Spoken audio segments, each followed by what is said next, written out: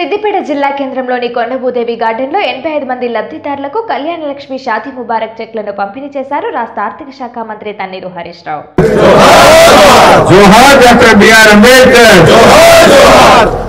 ఇవాళ నూట ముప్పైవ జయంతి సందర్భంగా మన గ్రామంలో అంబేద్కర్ గారి స్టాచ్యూను బ్రహ్మాండంగా రోడ్డు ఫేసింగ్లో చాలా అద్భుతంగా ప్రారంభం చేసుకున్నందుకు చాలా సంతోషంగా ఉంది.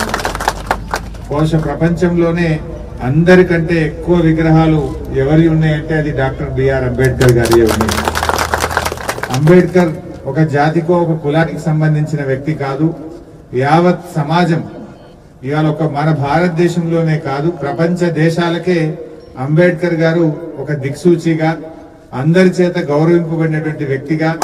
ఇవాళ ప్రపంచంలో ఇంత పెద్ద జనాభా ఉన్న ఒక ప్రజాస్వామ్య దేశానికి రాజ్యాంగాన్ని రచించినటువంటి మహనీయుడు డాక్టర్ బిఆర్ అంబేద్కర్ గారు. ఇవాళ వారు రాసినటువంటి రాజ్యాంగమే దాని ఆధారంగా ఈ భారతదేశంలో ఈరోజు ఇంత అద్భుతంగా ప్రజాస్వామ్యం ముందుకు జరుగుతూ ఉంది. ఇవాళ ఎన్నో అనేక దేశాల్లో రకరకాల సమస్యలు వచ్చినా బట్ అంబేద్కర్ గారు చాలా దూరదృష్టితో మన దేశంలో ఉండే విభిన్న జాతులు విభిన్న కులాలు విభిన్న ప్రాంతాలను దృష్టిలో పెట్టుకొని అత్యద్భుతంగా వారు రాసినటువంటి రాజ్యాంగం మూడంచెల వ్యవస్థ మనది. స్థానిక సంస్థలు రాష్ట్ర ప్రభుత్వాలు కేంద్ర ప్రభుత్వం. ఇంత అద్భుతమైనటువంటి వ్యవస్థను వారు రూపకల్పన చేసినారు. ఇవాళ బడుగు బలహీన వర్గాలు ఆ రోజు వారు కల్పించినటువంటి రిజర్వేషన్ వల్ల అంతరం తగ్గిపోతా ఉంది. ఈ ఉద్యోగ అవకాశాలు అందరికీ సమానమైనటువంటి హక్కు. వారిచ్చిన ఓటు హక్కే ఒక బ్రహ్మాస్త్రంగా మిగిలింది. ఓటు హక్కు అనేది ఈ దేశంలో ప్రతి పౌరుడి యొక్క ఓటు విలువ ఒకటే. ఇంకొక నువ్వు నీ విలువ ఎక్కువ నీ విలువ తక్కువ కాదు. అందరికీ ఒకే ఒక్క ఓటు ఇచ్చినాడు అందరి ఓటు విలువ ఒక్కటే. దాని ఆధారంగానే ఈ ప్రజాస్వామ్య దేశంలో అన్ని వర్గాలకు న్యాయం జరగాలి. అందరికీ ఇవాళ కాన్స్టిట్యూషన్ ప్రకారంగా కూడా అద్భుతంగా ఎస్సీ ఎస్టీలకు చట్టసభల్లో కూడా రిజర్వేషన్ కల్పించడం జరిగింది.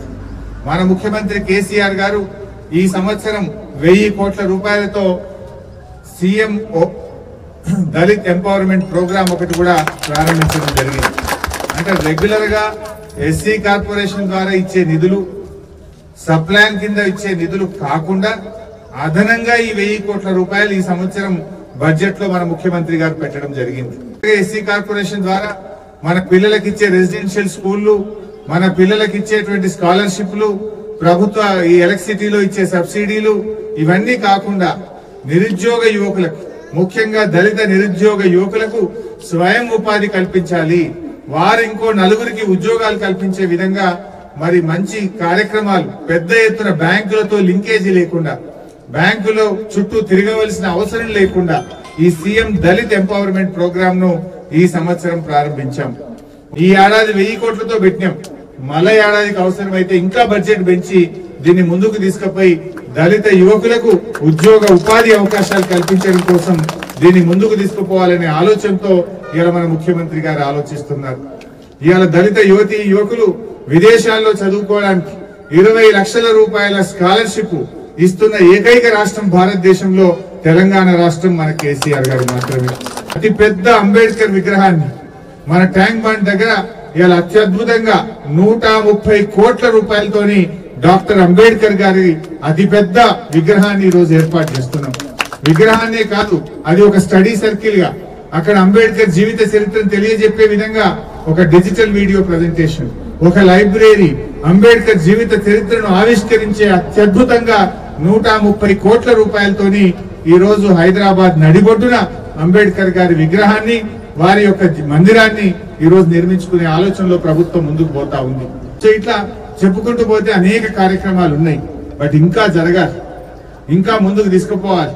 ఇలా మార్కెట్ కమిటీల్లో కూడా ఎస్సీ ఎస్టీలకు రిజర్వేషన్ తెచ్చిన ముఖ్యమంత్రి ఇవాళ కేసీఆర్ గారు మాత్రమే. ఇంతకుముందు మార్కెట్ కమిటీలో రిజర్వేషన్ లేదు. మార్కెట్ కమిటీల్లో కూడా ఎస్సీ ఎస్టీలకు మహిళలకు రిజర్వేషన్ తీసుకొచ్చింది కూడా మన ముఖ్యమంత్రి కేసీఆర్ గారు తీసుకురావడం జరిగింది. స్వంత స్థలాల్లో ఇల్లు కట్టించే కార్యక్రమం. ముఖ్యంగా మా ఎస్సీ ఎస్టీలకు ఎప్పుడో పాత రోజుల్లో కట్టిన గోనెపెంకల ఇండ్లు చిన్న చిన్న ఒక్క రూమ్ ఇండ్లు ఉన్నాయి. అవి కూ- ఊరుస్తా ఉన్నాయి కూలిపోతా ఉన్నాయి. స్వంత స్థలాల్లో డబుల్ బెడ్రూమ్ ఇల్లు కట్టియాలని చెప్పి ఈ సంవత్సరం బడ్జెట్లో పెద్ద ఎత్తున నిధులు పెట్టినాం. తప్పకుండా ఎస్సీ ఎస్టీలకు ప్రాధాన్యత ఇస్తూ స్వంత జాగల్లోనే వాళ్ళకి స్థలాలు ఉన్నాయి కానీ కుటుంబం పెద్దగైంది. ఇల్లు చిన్నగైంది. ఇల్లు కూలిపోతున్నది. రాబోయే రోజుల్లో మీ స్వంత స్థలాల్లో డబుల్ బెడ్రూమ్లు కట్టేటువంటి కార్యక్రమం కూడా పెద్ద ఎత్తున చేపట్టబోతున్నామని చెప్పి కూడా మనం చేస్తా ఉన్నాం. మా మిత్రులు ఒక మంచి లైబ్రరీ ఒక యువజన భవనం కావాలని కోరుతున్నారు. తప్పకుండా దాన్ని వెంటనే మంజూరు చేసుకుందాం. అట్లే మన విలేజ్ ఫంక్షన్ హాల్లో కూడా కొద్దిగా కిచెన్ పని పెండింగ్ ఉన్నది. కొద్దిగా అంత బ్యాలెన్స్ వర్క్ ఉన్నది. దానికి కిచెన్ షెడ్కు బ్యాలెన్స్ వర్క్ కూడా వెంటనే నిధులు మంజూరు చేసి మీ విలేజ్ ఫంక్షన్ హాల్ కూడా త్వరలోనే పూర్తి చేసుకుందాం. పోచమ్మ గుడికి కూడా సాయం చేయాలంటున్నారు. జనరల్గా గుళ్ళకు ప్రభుత్వ పరంగా కాదు కానీ మీరు స్టార్ట్ చేయండి. నేను ప్రతాప్ రెడ్డి గారు కూడా మీకు కొంత ఆర్థిక సహాయాన్ని అందించి ఆ గుడికి మా వంతు తోడ్పాటును కూడా అందిస్తామని తెలియజేస్తూ జై తెలంగాణ.